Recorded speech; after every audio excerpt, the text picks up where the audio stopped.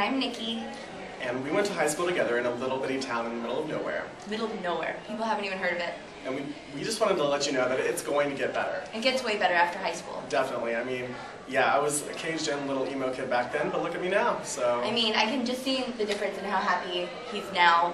Like, it's great. I promise, it does get better. Just keep trucking on. There's there's so many things in life, and you're, this is going to make you a stronger person, so it'll be good.